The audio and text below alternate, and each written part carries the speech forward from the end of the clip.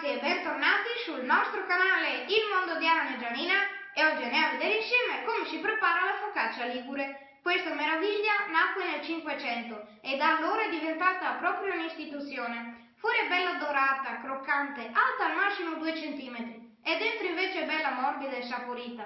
Oggi andiamo a vedere insieme come la si prepara. Per questa deliziosa ricetta ci serviranno 640 g di farina 00, 420 ml di acqua tiepida, 10 g di miele, 10 g di sale, 10 g di lievito secco e 40 ml di olio extravergine di oliva.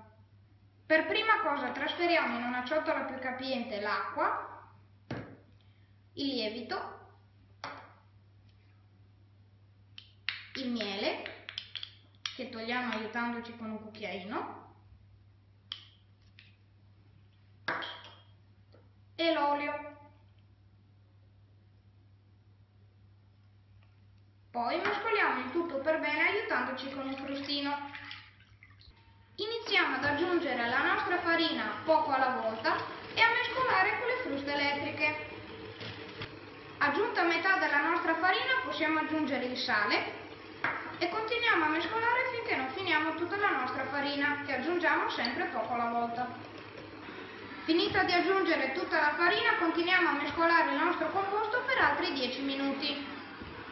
A questo punto trasferiamo il nostro impasto su una teglia con carta da forno e sulla quale abbiamo messo un pochino di farina.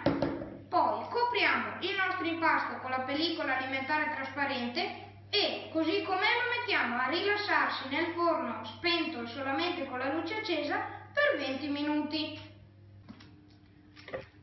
Passato il tempo stabilito, ci ungiamo le mani e facciamo due pieghe al nostro impasto. Prendiamo la parte superiore, la portiamo circa in mezzo e poi la schiacciamo un pochino. Facciamo la stessa cosa anche con la parte inferiore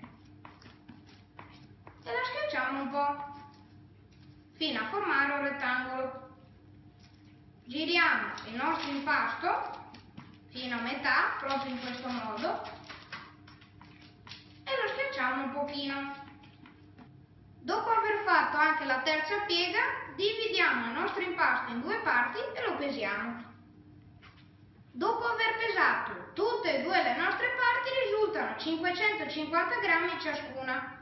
Ora prendiamo una teglia di 40 cm x 30 che abbiamo unto con abbondante olio, ci ungiamo anche noi un pochino le mani, facciamo arrivare l'olio dappertutto, poi prendiamo una parte del nostro impasto lo ungiamo per bene, sia sopra che sotto.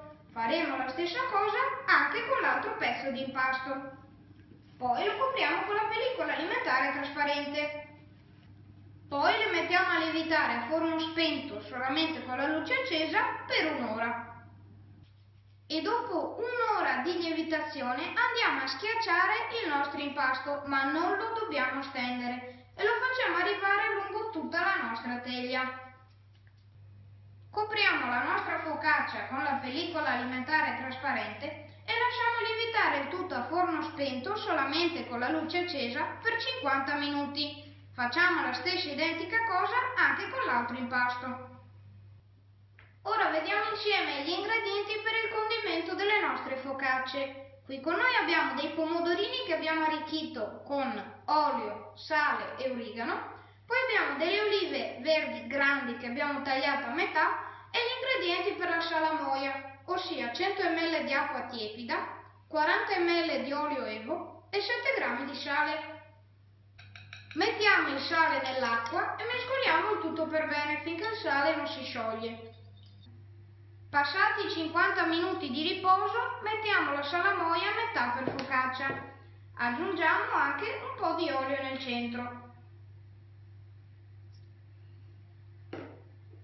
Poi massaggiamo il tutto aiutandoci con le mani, lo facciamo arrivare dappertutto.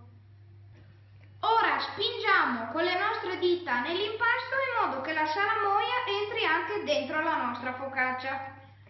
Questa sarà l'impronta appunto della nostra focaccia.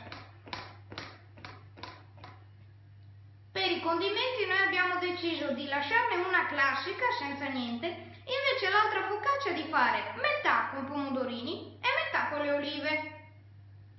Fatto ciò possiamo mettere a lievitare le nostre focacce a forno spento solamente con la luce accesa per un'ora. Non mettiamo la pellicola sopra, li lasciamo così. Passata un'ora di lievitazione possiamo finire la nostra focaccia classica aggiungendo un po' di sale grosso. Poi le cuociamo una alla volta a forno normale 230 gradi per 15-17 minuti, ossia fino alla doratura. Appena tirate via fuori dal forno bisogna immediatamente togliere le nostre focacce dalla teglia e metterle su una griglia a raffreddarsi in modo completo, cioè sotto e sopra. Ora ci mettiamo un pochino di olio sopra per lucidarli e noi ci rivedremo dopo. Ma guardate com'è venuta bene la nostra focaccia, ragazzi! Bene ragazzi, ora siamo arrivati al mio momento preferito, sia l'assaggio, e adesso ci gustiamo questa meraviglia di una focaccia.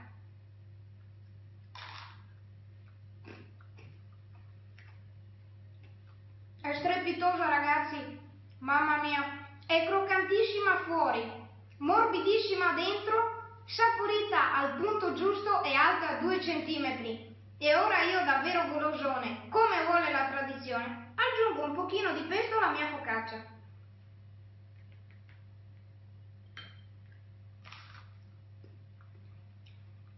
Beh, che dire, è stratosferica. Il pesto proprio gli dà quel gusto in più che la va a completare. Insomma ragazzi è stupenda, assolutamente da provare! Bene ragazzi, il nostro video finisce qui e non mi rimane altro che dirvi. Se il video vi è piaciuto iscrivetevi al nostro canale, mettete tanti like e tanti commenti come speriamo che, che sia e noi auguriamo a tutti una splendida giornata. Ciao ragazzi e mi raccomando attivate la campanella!